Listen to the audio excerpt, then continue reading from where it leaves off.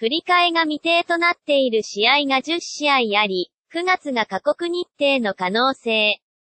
阪神がシーズン終盤の9月に過酷日程を迎えることになりそうだ。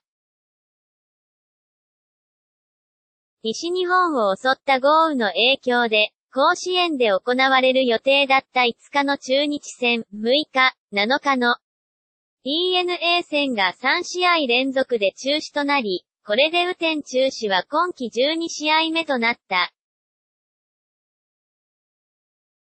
さらに8日、広島が記事全文を読む